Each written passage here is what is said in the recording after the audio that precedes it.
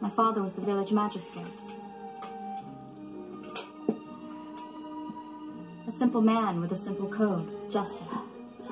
He gathered the few people that he could to stand against you. you and your bullies were driven back by farmers with pitchforks. My father saved his village at the cost of his own life. You had him shot as you ran away. A hero at a thousand paces. I'm sorry. I don't remember any of it.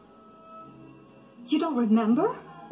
For you, the day Bison graced your village was the most important day of your life.